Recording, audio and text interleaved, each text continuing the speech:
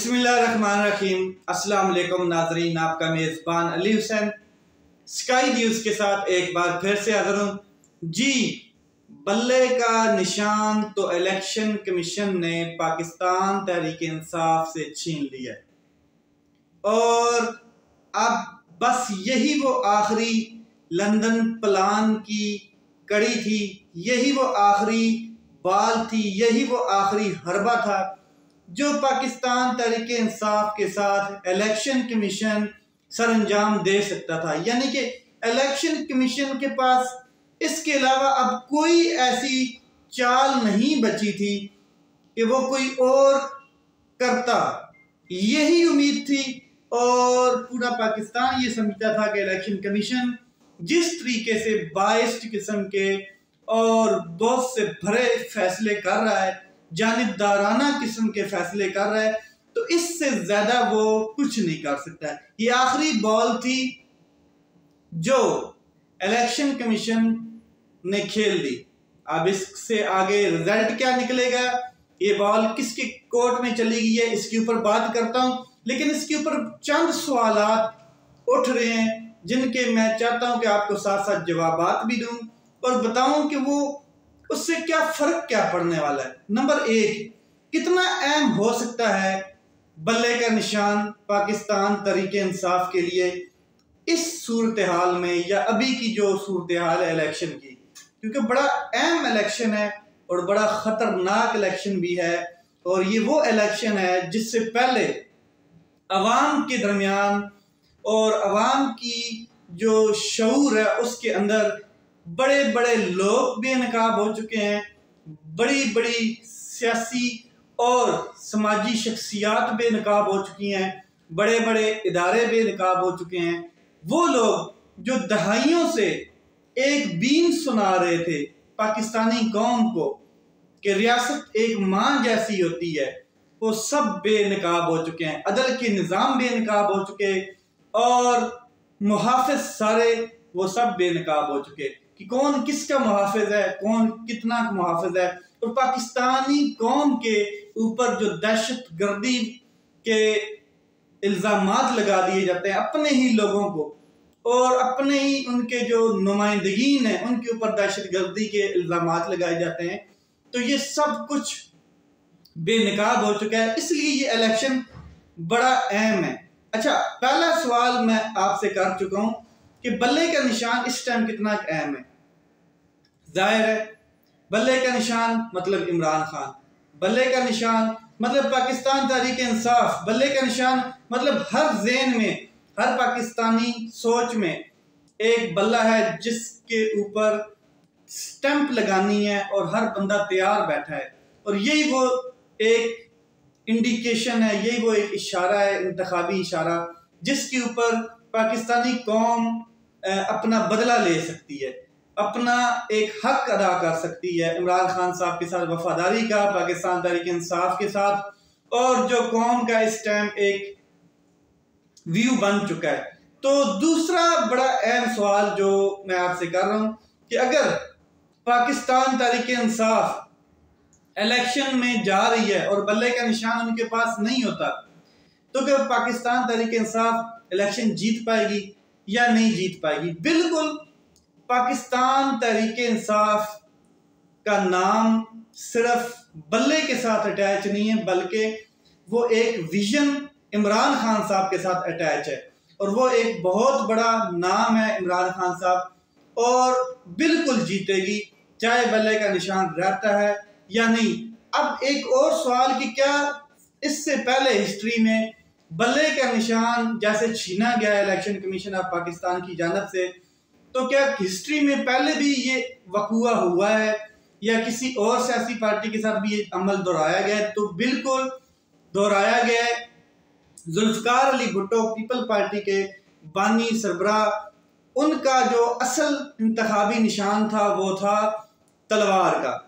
इसी तरह की एक वारदात डाली गई थी बारीक किस्म की। जब जुल्फकार अली भुट्टो साहब के ऊपर सेम सिचुएशन आई तो ऑन द स्पॉट उनसे ये तलवार का निशान छीन लिया गया, जिसके बाद उनके पास चला गया तीर का निशान और उसके बाद बेनजीर साहिबा कई दफ़ा तीर के निशान के ऊपर इलेक्शन जीत चुकी हैं और इसके बाद भी उनका बेटा भी अब तीर के इलेक्शन के ऊपर जीत कर वज़ीर खारजा बना हुआ था।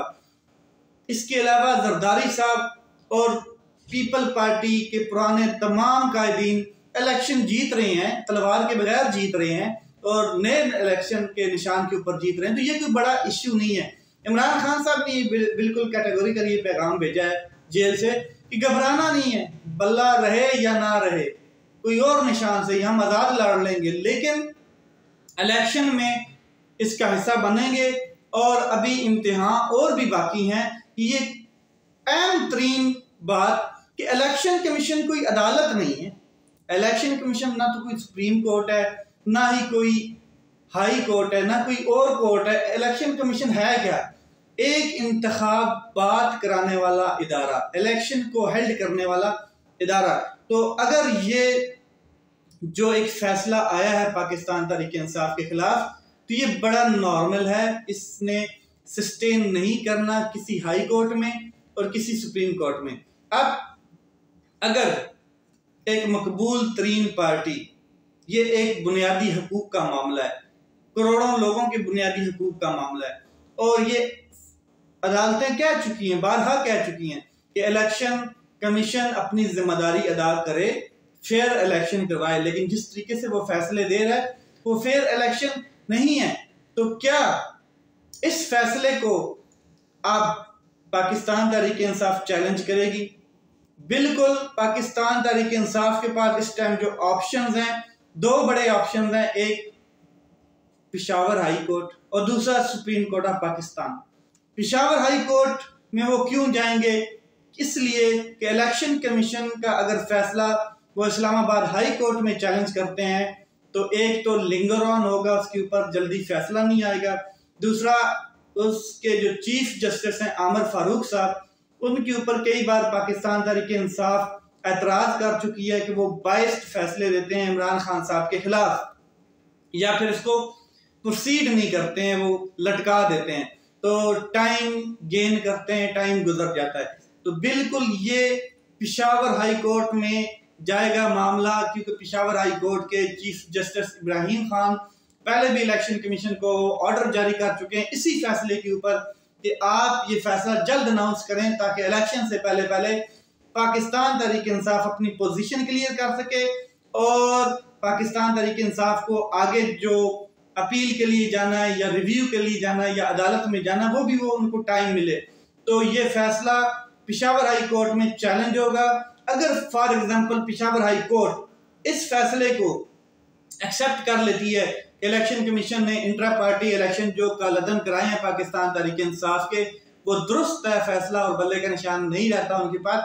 तो फिर Pakistan Tehreek Insaf Supreme Court of Pakistan में उसी फैसले को चैलेंज कर देगी। एक चीज़। दूसरा, पाकिस्तान तरीक इंसाफ जो है, उसके पास एक ऑप्शन डायरेक्टली भी मौजूद है सुप्रीम कोर्ट में जाने का। वो जो डायरेक्टली ऑप्शन मौजूद है, वो ये आइन के आर्टिकल 184 थ्री की एप्लीकेशन दी जा सकती है, जिसे अज खुद नोटिस कहते हैं, और उसके ऊपर भी ये एक दरखास्त मुकर की जा सकती है डायरेक्टली भी पाकिस्तान तरीके इंसाफ जा सकती है। वजह क्या है कि ये जो मामला, ये इंसानी बुनियादी हकूक का मामला है, जिसमें करोड़ों लोग शामिल हैं।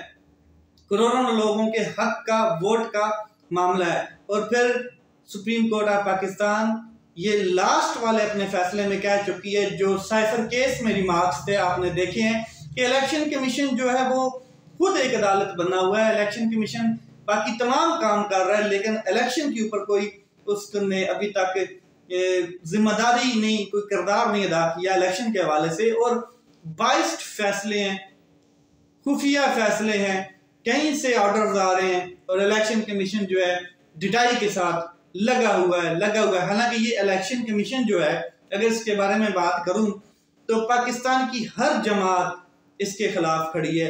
हर जमात ये कह रही है कि ये जानबदार है। हर जमात ये कहती है कि जी, इसके फैसले हमारे खिलाफ आ रहे हैं और अब इलेक्शन शेड्यूल जारी हो चुका है। इस माहौल में भी इसके, इस किस्म के फैसले आ रहे हैं।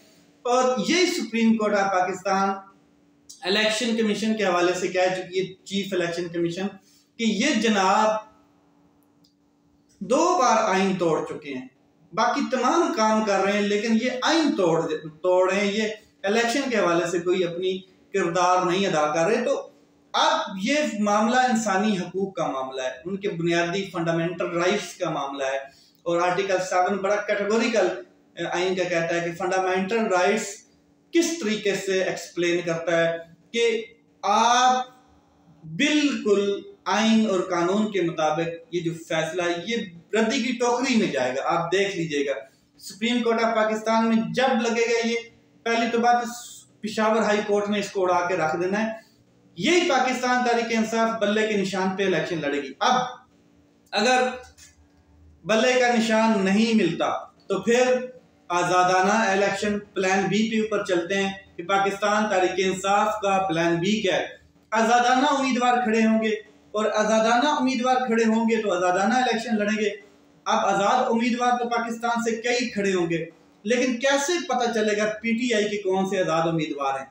तो इसके लिए प्लान बी इमरान खान साहब की जानब से जो है, वो ये है कि सोशल मीडिया के ऊपर तमाम उम्मीदवार जो हैं, हल्का बाई हल्का एक अनाउंसमेंट ऐलान जारी किया जाएगा डिक्लेयर किया जाएगा लिस्ट शो कराई जाएगी कि ये पाकिस्तानी कौम को कि ये जो उम्मीदवार है, ये पाकिस्तान तरीके इंसाफ की जानब से आज़ाद इलेक्शन लड़ रहे हैं और ये जो पाकिस्तान तरीक इंसाफ के लोग हैं, इनको वोट डाल सकते हैं। ये हमारे उम्मीदवार हैं। अब ये सारे जब जीत जाते हैं तो ज़ाहिर है, ये पाकिस्तान तरीके इंसाफ के हिस्सा तो नहीं बनेंगे।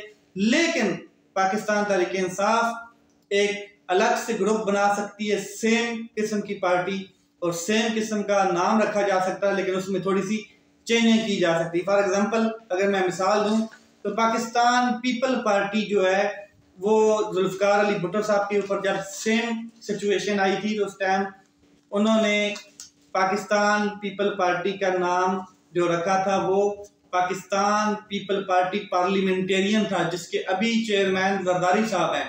पहले सिर्फ़ पाकिस्तान पीपल पार्टी था। तो इस तरह की कोई भी पाकिस्तान तरीक इंसाफ आगे कुछ भी लगाया के एक मतलब पार्टी बना के दोबारा मैदान में आया जा सकता है। लेकिन ये तो प्लान बी है, लेकिन प्लान ए ये है कि ये बिल्कुल सस्टेन नहीं करेगा, ना पिशावर हाई कोर्ट में इलेक्शन कमीशन का फैसला और ना ही सुप्रीम कोर्ट ऑफ़ पाकिस्तान में ये सस्टेन करेगा, क्योंकि इलेक्शन कमीशन एक इंतबी इदारा है और इसके ऊपर दो कोर्ट्स ऐसी हैं जो इसमें चैलेंज हो सकता है जिसमें फैसला। और ये इलेक्शन कमीशन का फैसला रद्दी की टोकरी में जाने वाला है। बाकी पाकिस्तान तरीके Insaf people party, Noon league और बाकी तमाम जमातों के लिए आज आखिरी दिन था। तमाम लोगों ने अपने कागजात नामजदगी जमा करा दी हैं। कई लोगों से छीने गए कई लोगों को गिरफ़्तार कर लिया गया कई लोगों के वकला को गिरफ़्तार किया गया इवन के फैमिली मैटर्स भी सामने आए, जो मोहसिन अलाई साहब हैं और जो तारक बशीर चीमा के बेटे और बाकी जो शुजात अली खान साहब के जो बेटे हैं, वो सारे उन्होंने अपनी फुफियाँ गिरफ़्तार करवा दी।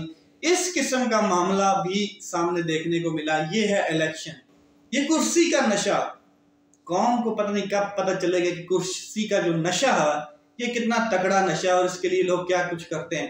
खैर, इमरान खान साहब के बगैर इलेक्शन दुनिया नहीं मान रही। इमरान खान साहब के बगैर इलेक्शन दुनिया मानने को तैयार नहीं है।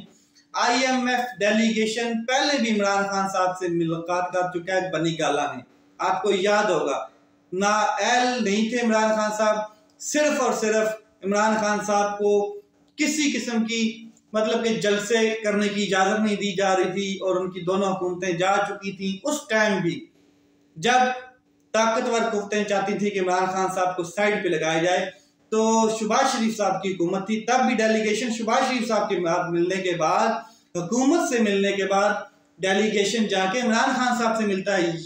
इट्स मीन के बिल्कुल क्लियर है कि दुनिया ये बात मानने के लिए तैयार नहीं है कि इमरान खान साहब के बगैर इलेक्शन के नतज हैं। और अगर कोई नतज इस किस्म के हैं तो वो इलेक्शन के बाद अफरा तफरी ऐसी फैलेगी कि जो माशी हालात हैं, इससे भी बदतर हो जाएँगे। और ये जो तजर्बात करने वाले लोग हैं, इनके तजर्बात इनकी गले में पड़ चुके हैं, ये हार चुके हैं, बस ये हार मान नहीं रहे हैं, ये कबूल नहीं कर रहे।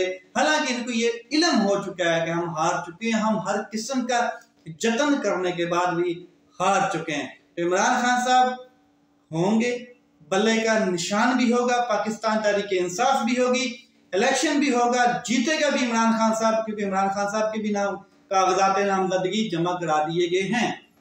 तो देखना यह है कि 2024 का इलेक्शन है।